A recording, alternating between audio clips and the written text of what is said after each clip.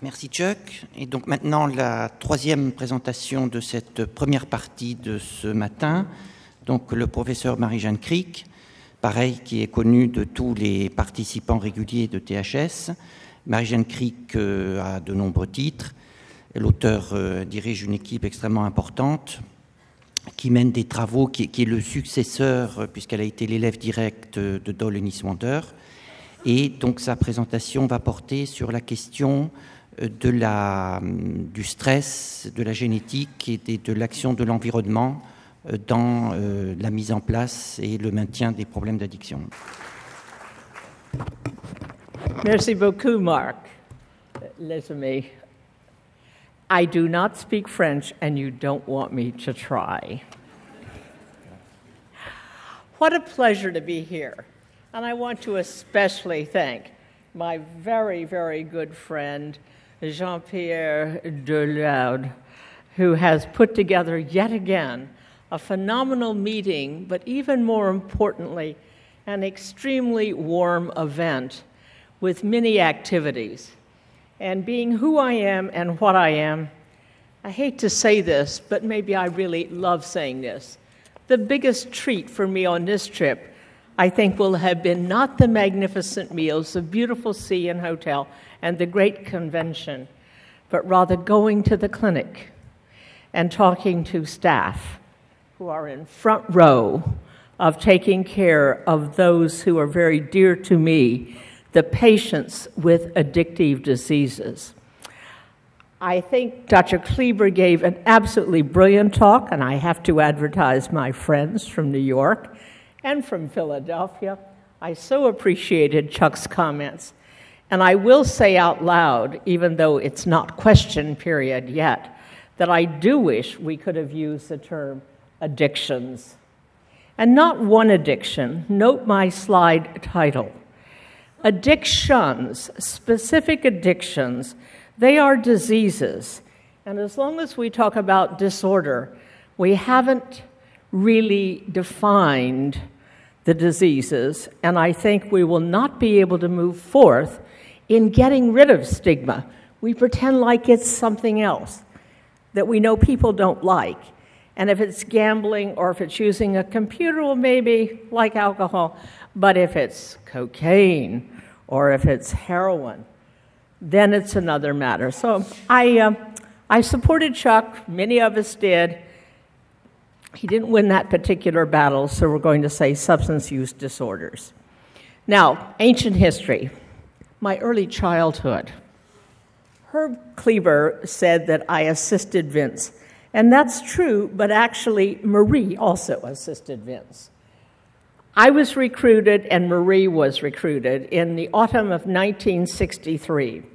I was recruited because I was a young physician in training who had been pre programmed through my work at Columbia and at the NIH to go into science. Some field, not yet determined, but clearly a mixture of bench and laboratory science. Marie, on the other hand, was a seasoned psychiatrist. She had worked on the streets of New York in Lexington at the old Public Health Service Addiction Hospital, where they wished to find a non addicting pain medication. The goal was not treatment of addiction, it was simply getting addicts off whatever they came in on, primarily heroin or Demerol for the physician nurse addicts, and then to have them as study subjects for new medications. Marie had written a book called The Addict as a Patient because she had been singularly struck that the very best pundits in her field of psychiatry, either working humanely or very inhumanely, had not been able to solve the problems of addiction.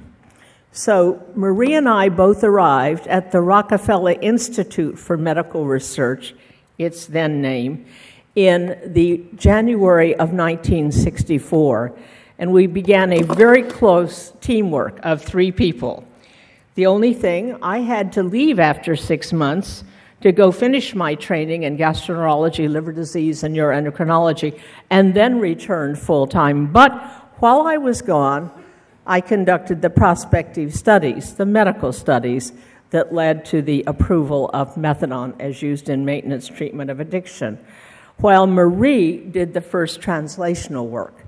That is, she took what we had developed in our tower down to the streets of New York to a proprietary hospital, the Manhattan General Hospital, later to become part of Beth Israel Medical Center, and showed she could recap what we had found in the first six months of 64.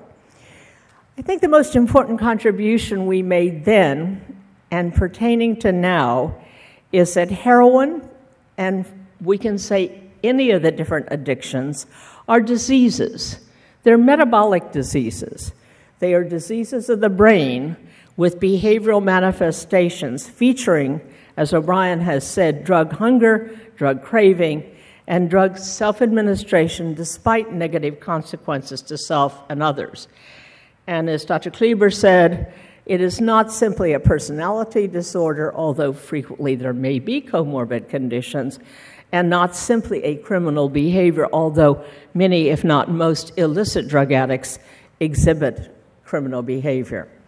So we conducted the first studies in the inpatient research unit of the Rockefeller Hospital, then under the leadership of the true discoverer of the function of DNA, Dr. Maclyn McCarty, who with MacLeod and Avery in 1946 described the role of DNA, a chemical discovered a decade, a century earlier by Miescher in Switzerland.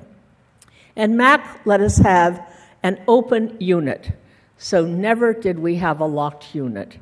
We taught our potential research subjects that if they used drugs, they would be dispatched and we hoped they wouldn't, but we understood the power of craving.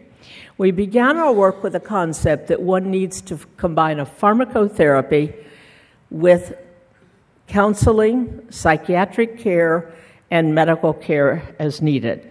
And I think the rest is rather like history. We saved the first research to present at the Old Turks, a very prestigious U.S. organization, in May of 66. Therefore, the second publication was actually the first research.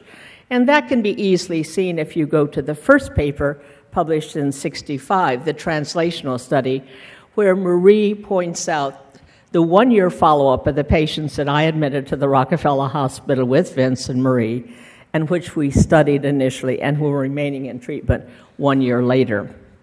And also the cross tolerance studies are duly cited there. But when Dole presented our 64 findings at the Old Turks, and it was published in the Transactions and then the archives, it was very interesting. He thought people would be so excited that there was now an effective treatment for opiate addiction. But I refer to you that original transcription, which is very available, and you will see that people ask questions which Dr. Kleber just answered this morning. When are you going to get these people off methadone?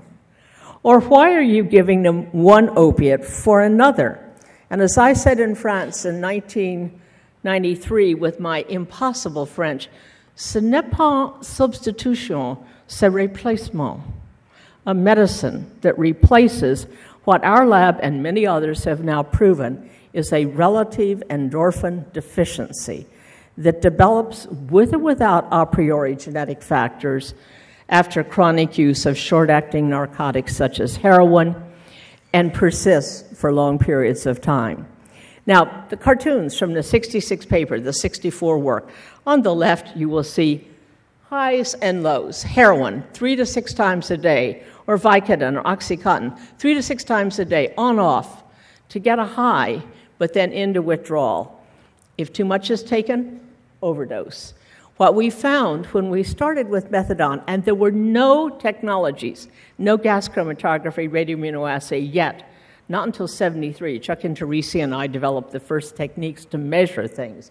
But what we found, if we started with a dose of 20 to 40 milligrams a day, which wouldn't harm a naive individual, and then slowly increase that dose up to 80 to 120 milligrams a day, we saw no high, no euphoria, but also no withdrawal. We saw a steady state. And it's that steady state that allows normalization of physiology, which has been disrupted by the jackhammer effect of heroin going on and off. But it's also that steady state that allows people to receive and accept counseling, medical care, job training, and get back to more normal lives. On the right, you'll see the actual pharmacokinetics, which independently, though now we're connected through our NIDA center, Chuck and Inturrisi and I developed techniques, and Chuck found that heroin itself has a half life of three minutes.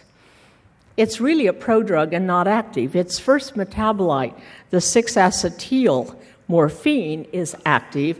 It has a half life of 30 minutes, and morphine itself for about four hours.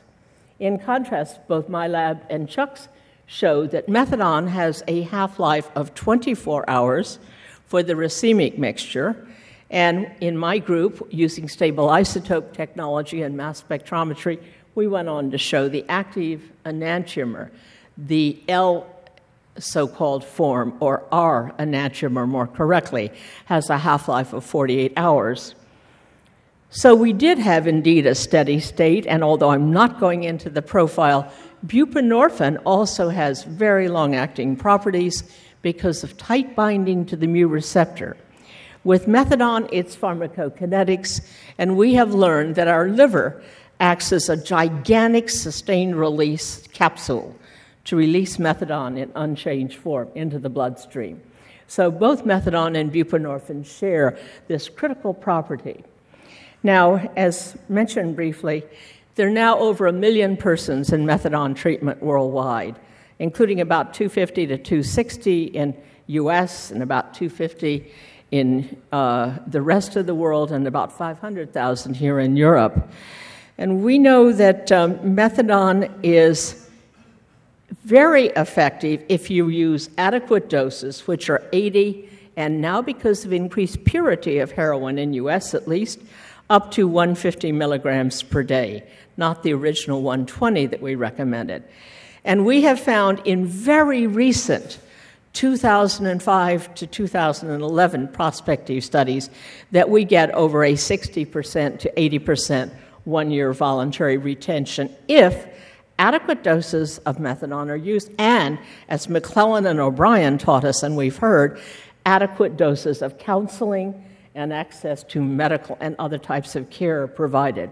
And I think, as Dr. Kleber presented, this is going to pertain with all data coming out with buprenorphine. We need to have services of a variety of types.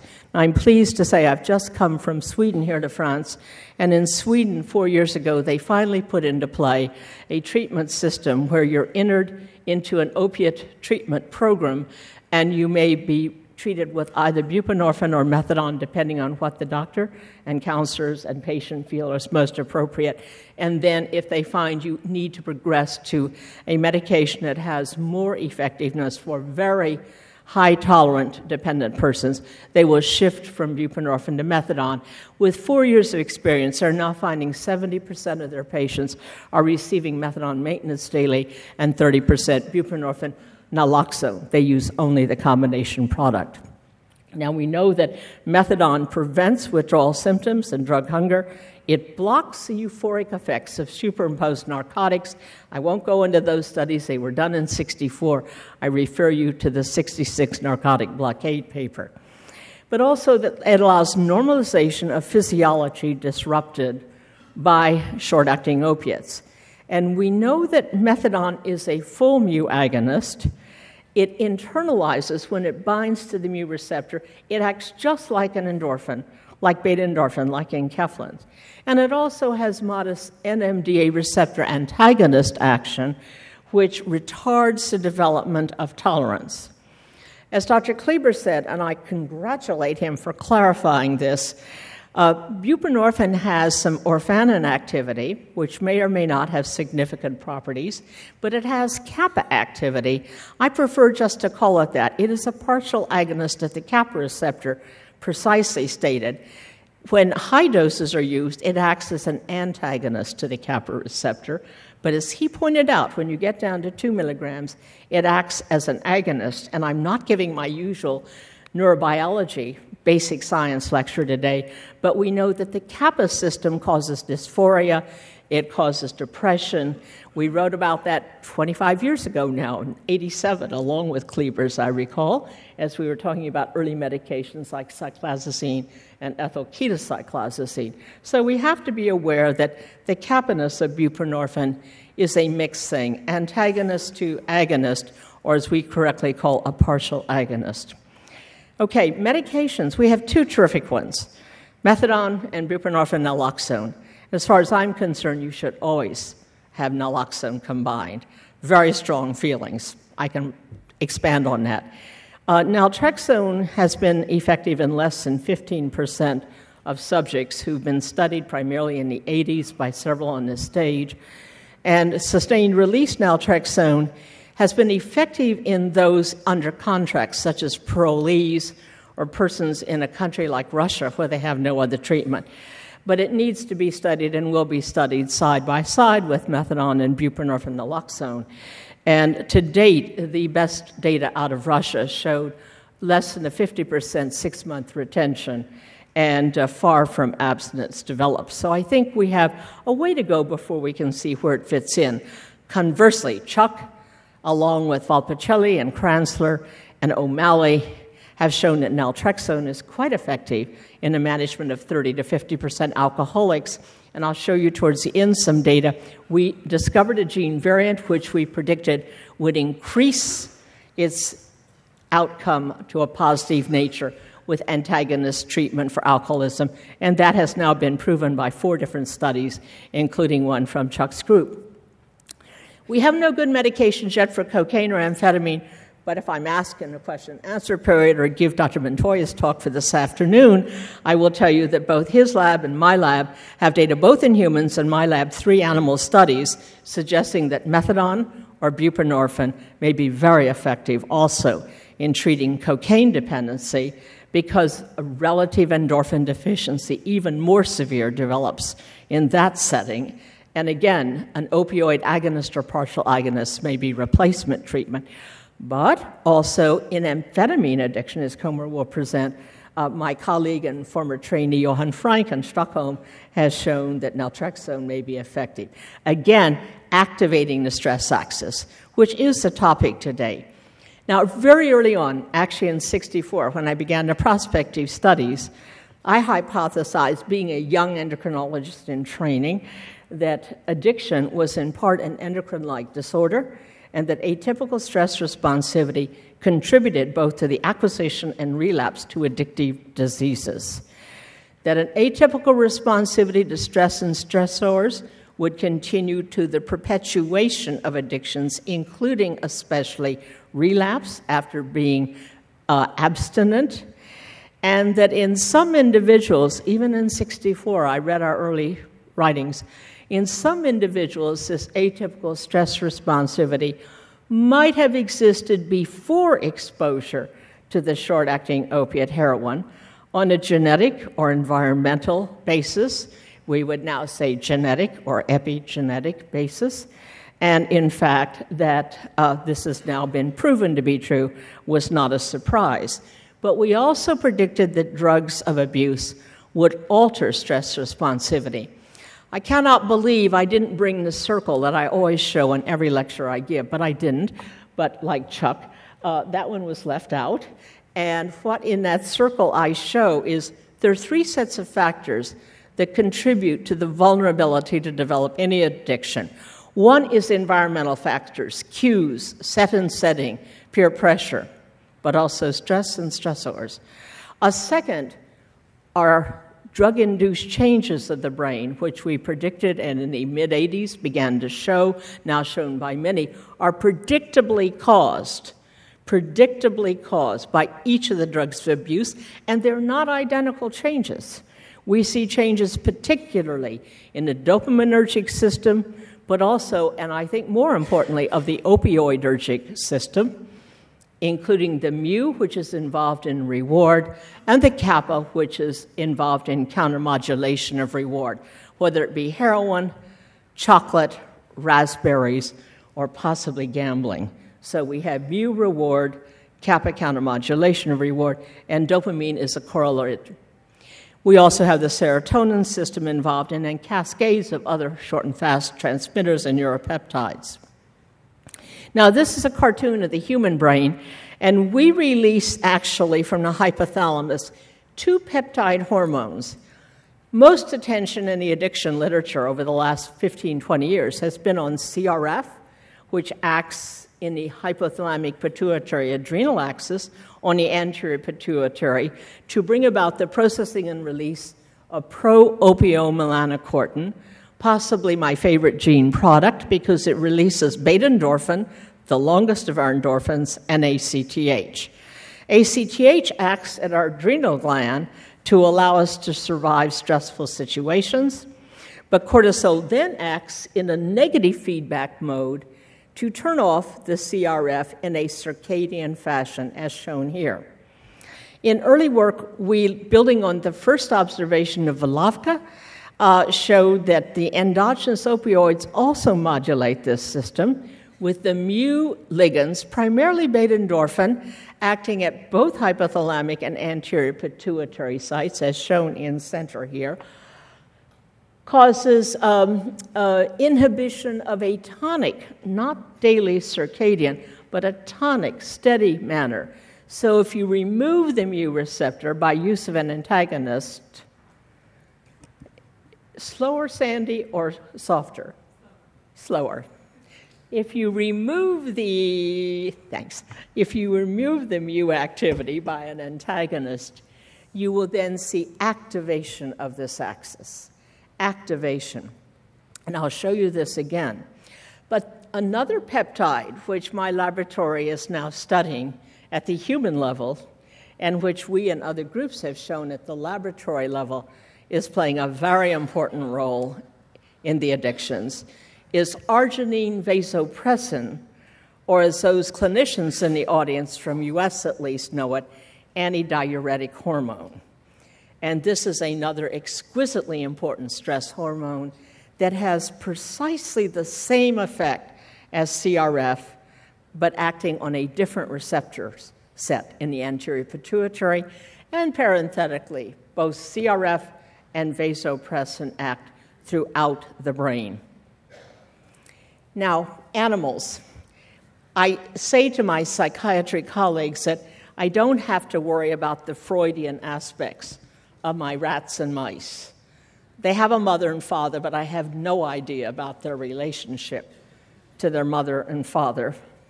However, I know they do come in different strains, or you can use an outbred strain. Now, when we give cocaine, a different drug, but which will be addressed this meeting, in a binge like pattern, mimicking the most common pattern of human use, we see activation of the stress axis.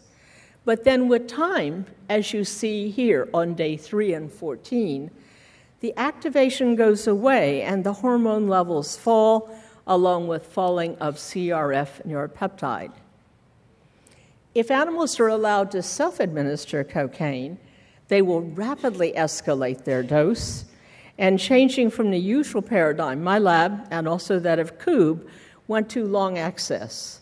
Koob to six hours, and our group to 10 and now 18 hour sessions. And as you'll see, the higher the dose and the long access, the animals use more and more cocaine. And this, in fact, has taught our laboratory group to use even higher doses of cocaine in a binge. But look at the lower right. The cortisol, the important stress hormone, blue is pre cocaine highest levels when night occurs, just the flip, the opposite of humans. Rats and mice get up and run around during the night. We go to sleep, maybe. So you see the highest levels, and then they fall in that activity period. But cocaine use for only one or two days flattens that circadian pattern and then reverses. And even after only five days of exposure, self exposure, you will notice that they have lower than normal levels of hormones.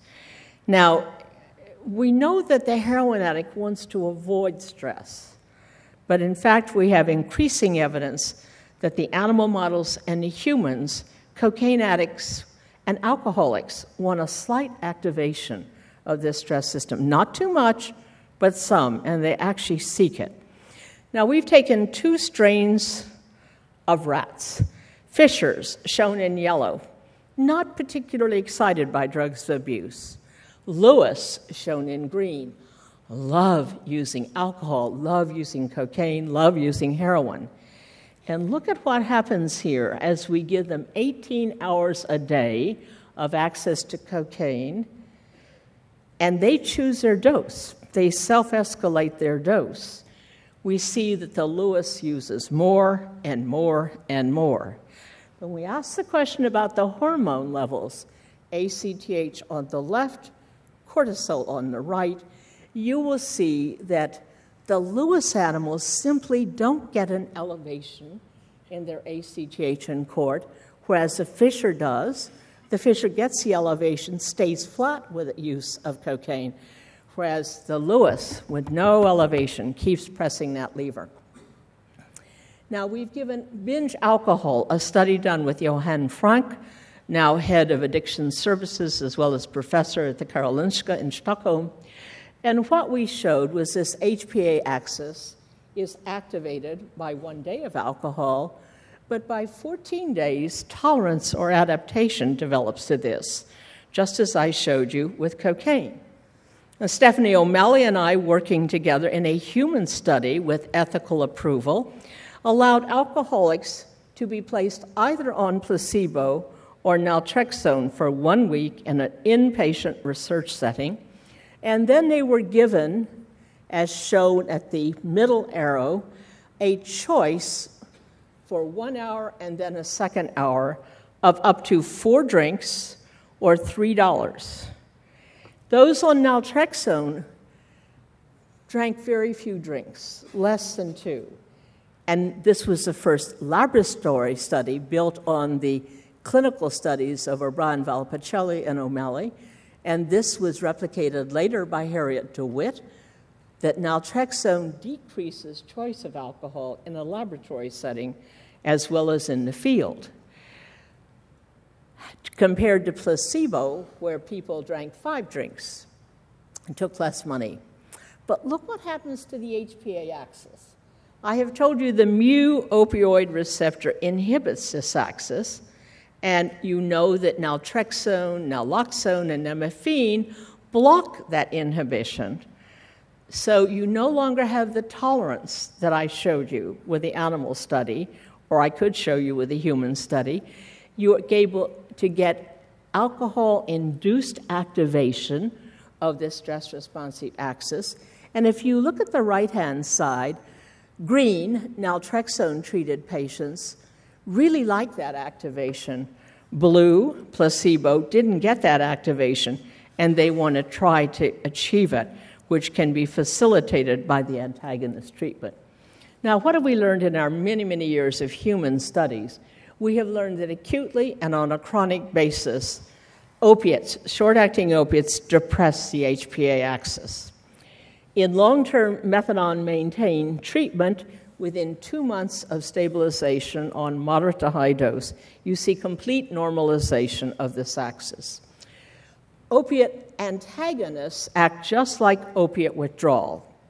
You see activation of this axis, which we, in early 1980 studies based on what we had observed in our humans, plus Al Schuler's brilliant work in monkeys, we predicted, and later Chuck showed this in rats, that naltrexone or some antagonist would be effective in treating alcoholism because it goes in the same direction as the drug itself does.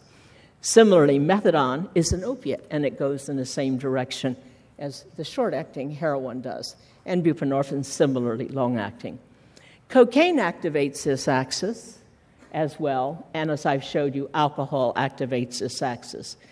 The normalization we think is critical for the success of methadone and probably buprenorphine treatment, and this normalization does occur with time. We've studied and now are studying and hope to study further buprenorphine. And our challenge studies, as well as our rodent studies, have proven that a relative endorphin deficiency develops both in opiate addiction when medication and drug free and in cocaine addiction. Now, I will not extol all the praises of the mu opioid receptor system, but they are numerous, and it functions range from managing pain to managing our gastrointestinal motility. And yes, my lab showed you could reverse the constipation in pain patients by using an orally available but not systemically available antagonist, such as naloxone. And that has now been reduced with different compounds by two companies in the past five years, and very effective. Immune function, cardiovascular function, pulmonary function, mood, cognition, and affect are also modulated or regulated by the immune system. So, as soon as the first opioid receptor was cloned by Evans and Kieffer across the world from each other, same technique, that was the delta receptor. Lei Yu, then at Indiana, now at Rutgers, cloned the mu opioid receptor, and joining forces with Leah, we did studies to determine what were the variants, the single base change, the single nucleotide polymorphisms, or other variants of the gene for the mu receptor. And we hypothesized that there might be changes in the coding region, that is, in that part that actually binds to this mu receptor shown here. And what Leah and I found in our very large study was that, in fact, there are two common variants in the N terminus, which you see up there in, in the bloodstream, where the opioids endogenous or something like morphine or heroin or methadone could bind, the binding sites. We found there were two variants, both of which result in changes in amino acids. And we predicted that such a change could alter physiology and coined a new term, which is now taking, called physiogenetics, which is patterned after the long standing concept of gene influencing drug metabolism, pharmacogenetics. And indeed, we've gone on to find both of these. So, shown here in the upper panels, somewhat scary, green is the variant receptor, yellow is the prototype. And you'll see there's a move to the left of the green to yellow. And you will see that that suggests a tighter affinity for the ligands beta endorphin, specifically the only ligand that binds more tightly. And on the right, beta endorphin put into a molecular construct which we created with the green variant receptor gives greater signaling through one of the two major signaling pathways. And we went on many years later to show that this variant mu receptor, which one in five of you have one copy of, one in five of you in this audience, which is predominantly Caucasian, have a copy of, you will have fewer receptors on your cell surface, which is good because those receptors are more active. So you're perfectly normal, except in the setting of stress. Now, we have shown, and I alluded to this, that if you give an opioid antagonist, here shown in gray, naloxone, and in green, nalmefene. Nalmefene, like naltrexone, like buprenorphine, has some partial kappa activity. In humans, naloxone is purely a mu antagonist. And you'll see with the gray, two doses high and extraordinarily high, you see activation of the stress system with increase in ACTH and increase in cortisol. With the green, you have even greater activation. And this led us to realize and study further now that kappa system modestly activates this HPA axis, activates. The mu receptor disinhibits the kappa receptor system activates. And we have gone on to study persons with one or two copies of the G variant of the A118G SNP, and we found in healthy volunteers in a quiet, stress minimized environment, there's modestly higher cortisol levels in people with one copy of this. And Gary Wand beat us to the punch. He's down at Hopkins, and he conducted one study early and then a very elegant, huge study more recently, where he gave naloxone, the antagonist, as shown in N, and persons the green line, again, is the G variant. Much greater activation with the same doses of naloxone that caused modest activation. And remember, this is activation through disinhibition at the mu receptor. So, much greater effect. And these findings, which we had predicted, and my lab also has shown, made us guess that we would see other exciting changes related to that activation. Now, another compound we can use to test this stress responsive axis, both in healthy humans and in those with addictive diseases, is giving metyrapone, which for eight hours blocks the synthesis of cortisol. And this allows, similar to the antagonist disinhibition, increase in CRF, increase in beta endorphin, increase in ACTH. But if there's greater binding, more tight binding of the mu receptor inhibiting this axis, you get an even greater check countermodulation of this activation. So we do this test in healthy people only in this particular study. And yellow is the prototype AA, and you'll see you get activation of ACTH at four hours and at eight hours. But look at the green, the variant receptor. Less activation, and again on the right, less activation if you have the G variant.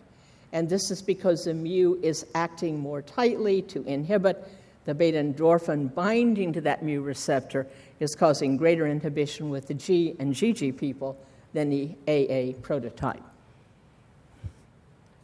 So we predicted that this variant would be associated with alcoholism, and my laboratory, enlisting the collaboration of Markus Heilig, then at the Karolinska in Sweden, were able to show that indeed this variant, this stress responsive functional variant, is very highly associated with opiate addiction, and in fact, the attributable risk to this one variant our genetic statistician, the renowned Jurg Ott, had to hold my hand when I had to present these data.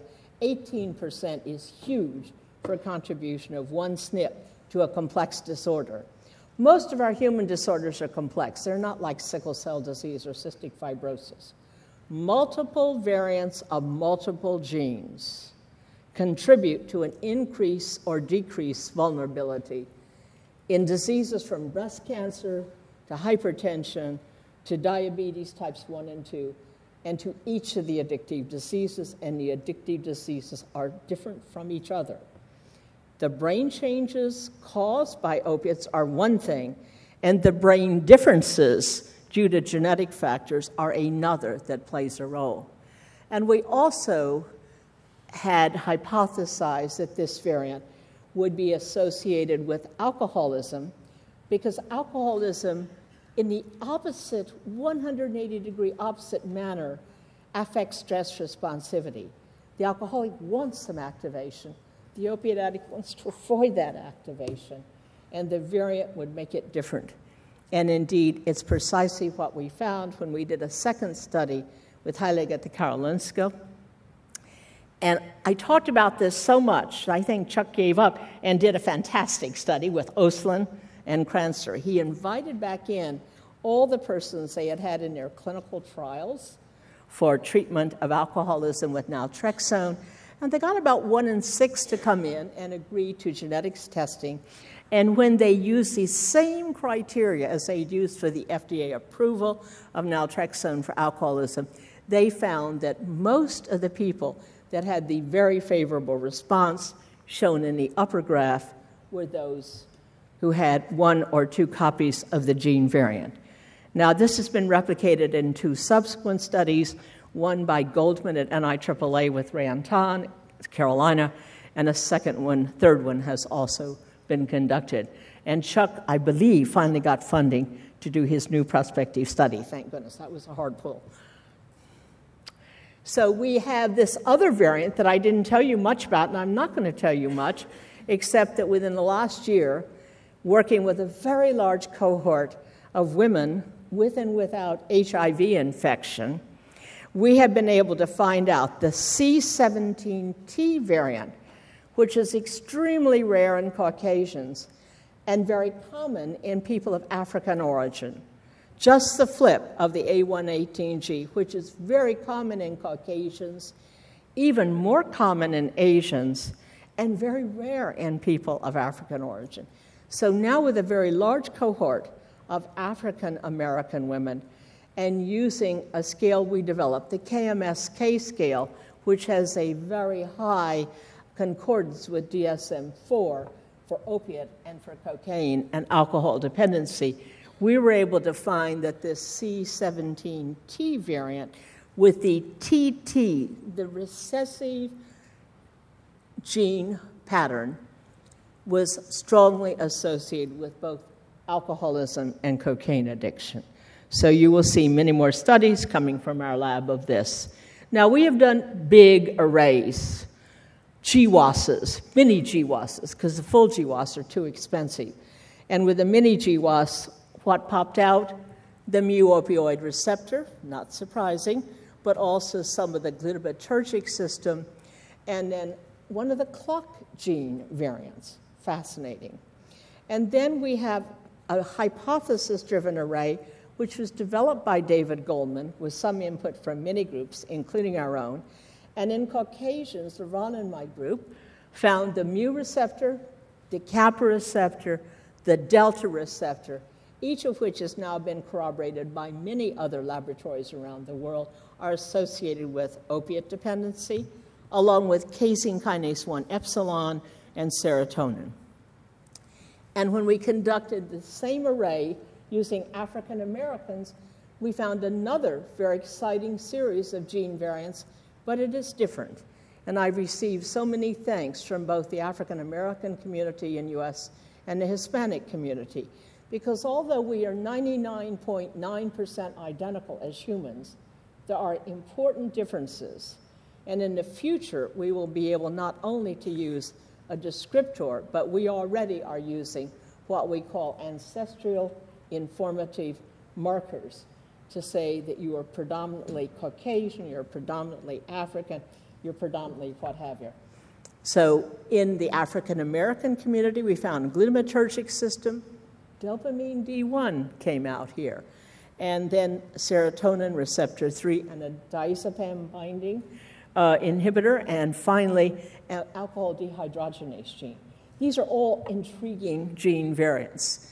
Epigenetics, that's changes that occur not with your DNA, but changes that occur to your DNA from various environmental factors, with methylation being the major change on DNA and a variety of different histone modulators on your RNA. DNA goes to RNA, RNA goes to a peptide.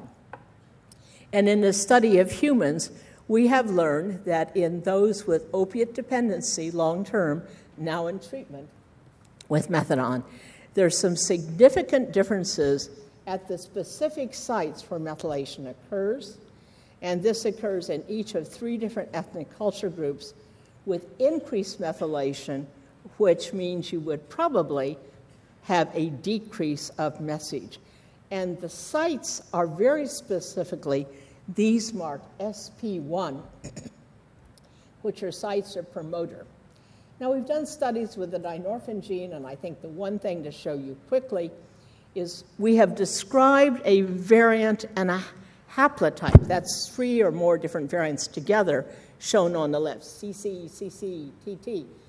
That is associated with alcohol and cocaine dependence, and look in postmortem human brains with quantitative measurements we have shown less dynorphin gene expression than we do in the opposite haplotype. And the most common is also lower. So, lower dynorphin gene expression, less countermodulation, and I won't be showing you my animal studies where we've been able to show that dynorphin peptide itself causes a dose dependent reduction in dopaminergic surge. And that dopaminergic surge dose dependent difference is of importance. So I'm not going to show you our epigenetics work there, but simply a prelude for Dr. Eap tomorrow, where I will chair uh, we have found that three different gene groups, genes involved in the disposition and the biotransformation of methadone, have genetic variants that modulate dose. The ABCB1 gene is a gene that yields P glycoprotein that pumps medications in the brain and out of the brain. And what we've shown is that persons with specific variants of ABCB1 require, as shown in the yellow triangle, higher doses of methadone. We also have identified a gene variant of a neurogrowth factor gene, which has to do with the transport of drugs through a cell. And again, homozygote genotype, the TT shown in red, dictates need for a lower dose of methadone in an optimally treated environment. And we have two different variants, one of which Dr. Eap will also talk about tomorrow because he's made a similar finding in Swiss French uh, persons in methadone treatment. And finally, there's two variants of this. Uh, well, this is where Eap's work is identical the CYP2B6 associated with lower dose needs. So, impulsivity, risk taking can all contribute to initiation of drug use. Probably so can the very withdrawn, angry youngster.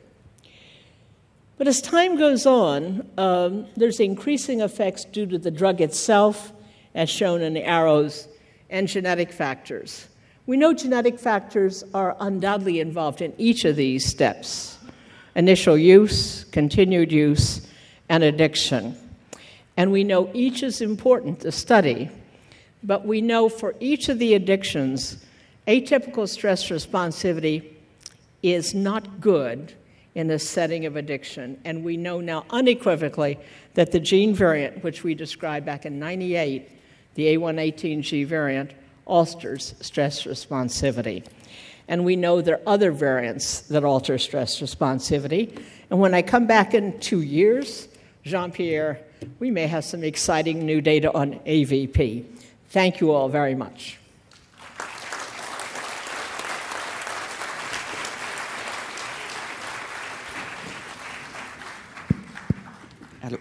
Allô ça marche? Oui.